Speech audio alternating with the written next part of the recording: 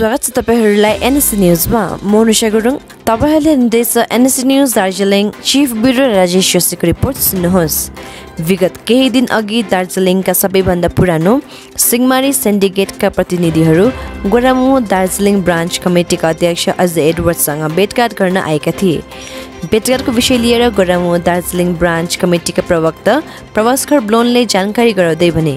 उहाँहरूसितको भेटघाटको क्रममा उहाँहरूको दुःख अनि गुनासो सुन्यौँ। प्रतिनिधिहरूले जानकारी गराएअनुसार सेन्डिकेटको गाडी राख्ने स्ट्यान्ड अति नै जीर्ण अवस्थामा रहेको र गाडी निकाल्न र राख्न अनि नै कठिनाइ भएको कारण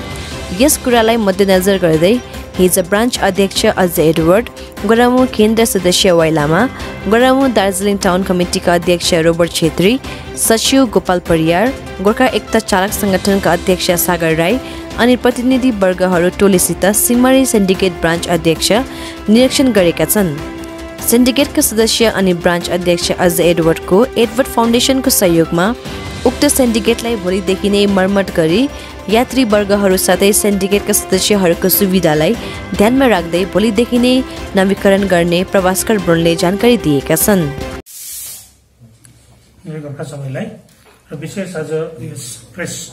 भेलाद्वारा तपाईँहरूलाई जानकारी गराउन चाहन्छु कि हाम्रो सबैभन्दा पुरानो दार्जिलिङको सबैभन्दा पुरानो ट्याक्सी सेन्डिकेट सिंहमारी सेन्डिकेटका हाम्रा सदस्यहरू हाम्रा ब्रान्च अध्यक्ष अजय एडवर्डसँग हिजो भेट्न आउनु भएको थियो र उहाँको विचार विमर्श उहाँहरूको बातचित पछाडि हामीले उहाँहरूको गुनासो सुन्यौँ हामीले उहाँहरूको दुखेसो बुझ्यौँ। त्यो चाहिँ के भने सेन्डिकेटमा जुन गाडी राख्ने जग्गा छ त्यसको अवस्था अति नै जीर्ण अवस्थामा पुगेको उहाँहरूले जुन गुनासो गर्नुभयो त्यसलाई मध्यनजर राखेर आज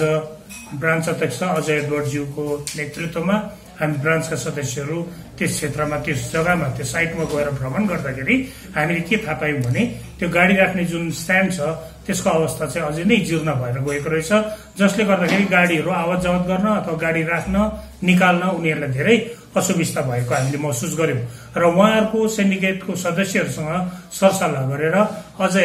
एडवर्ड फाउन्डेसन अनि उहाँहरूको सेन्डिकेट दुवै मिलेर चाहिँ हामीले के तय गर्यौं भने भोलिदेखि उता चाहिँ हामीले त्यो मर्मती गरेर जति सक्दो हुनसक्छ एकदम राम्रो भन्दा राम्रो तहले दुईटा दुवैजना मिलेर सेन्डिकेटको सदस्यहरू र एडवर्ड फाउन्डेसन मिलेर चाहिँ त्यो सेन्डिकेटको जुन जीर्ण अवस्था छ त्यसलाई मर्मती गरेर उहाँहरूलाई सुविधा होस् प्यासेन्जरलाई पनि सुविधा होस् अन्तमा गएर सबै जनसाधारणलाई सुविधा होस् भन्ने हेतुले चाहिँ त्यसलाई एउटा नवीकरण गर्ने हामीले योजना बनाएको छौँ र यो प्रेस बाइटद्वारा हजुरलाई यही सूचना दिँदछौँ। धन्यवाद जय गोर्खा।